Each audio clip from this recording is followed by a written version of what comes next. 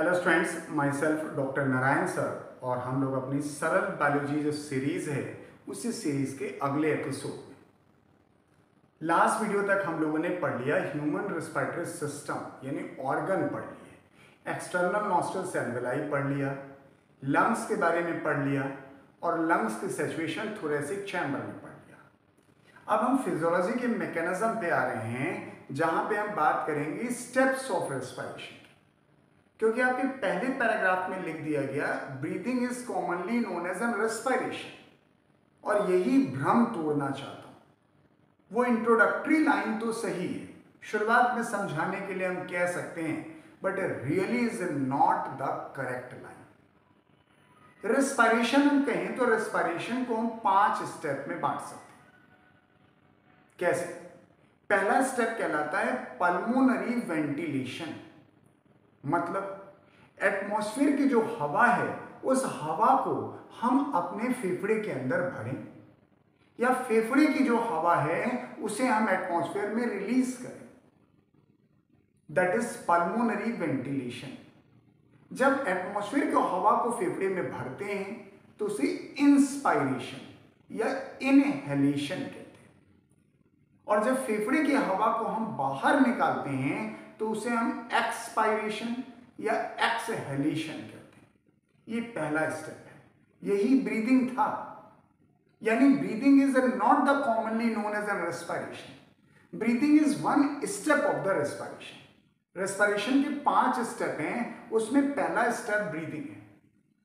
Second step जब हवा आपके एल्वेलाई में भर गई, उस हवा में से ऑक्सीजन डिफ्यूज होकर ब्लड में जाएगी और ब्लड की CO2 डिफ्यूज होके लंग्स एल्वेलाई में आएगी। दैट इज़ गैसेज एक्सचेंज कहा? एल्वेलाई में। यानी दूसरा स्टेप हुआ gases exchange in the alveoli किसके बीच में? फेफड़े की जो हवा है उसमें और वहाँ के जो ब्लड कैपरीज हैं उसके बीच में।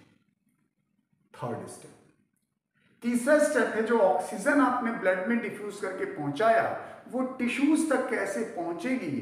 तो via blood the term is transport of gases तीसरा स्टेप है रेस्पिरेशन का गैसेस का ट्रांसपोर्ट कौन सी दो गैसेस का? ऑक्सीजन और सीओ टू का।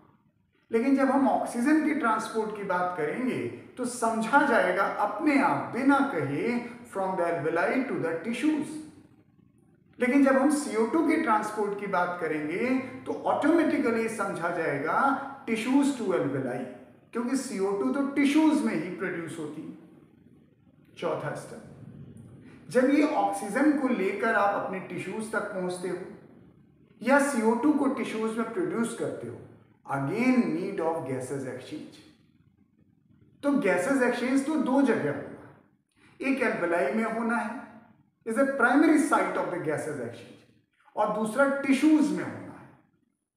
और पांचवा, और अंतिम स्टेप जो टिश्यू सेल्स में ऑक्सीजन पहुँचती है, वहाँ पर उस ऑक्सीजन को यूटिलाइज करते हैं। किस लिए? Combustion of food. जो आपने खाना पहुँचाया हमारी टिश्यू सेल्स में, उन्हें हम कैटाबोलाइज करेंगे, कंबस्टन करेंगे, ताकि उससे ऊर्जा प्राप्त कर सकें। And yes this is known as cellular respiration तो पाँच स्टेप हुआ। पहला स्टेप ब्रीदिंग दूसरा एल्वेलाई में गैसेज एक्सचेंज तीसरा ट्रांसपोर्ट ऑफ़ गैसेस और चौथा again gases exchange but in the tissues और पांचवा है that is utilisation of oxygen in the tissue cells तो ये पाँच स्टेप हैं हमारे रेस्पायरेशन अब अगली वीडियो से हम एक एक स्टेप को आगे क्लियर करते जाएँगे और फिजियोलॉजी पढ़ पाएँगे। हम हर वीडियो में आपसे एक बड़ी गुजारिश करते हैं कि हमारे शब्द हमारी बातें आप तक कैसे पहुँच रही हैं? आप तक पूरी पहुँच रही हैं कि नहीं पहुँच रही हैं? आप कमेंट सेक्शन में ज़रूर बताइए। It's a need of us for better communication sir it is required कि जो हम कहना चाहते हैं, वो आप तक पहुँचना चाहिए। और जो आप सुनना चाहते हैं, हमें वही कहना चाहिए।